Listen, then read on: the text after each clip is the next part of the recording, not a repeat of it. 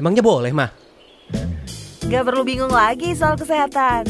Dapatkan respon cepat dan jawaban akurat dengan tanya langsung ke dokter spesialis di aplikasi Alo Dokter.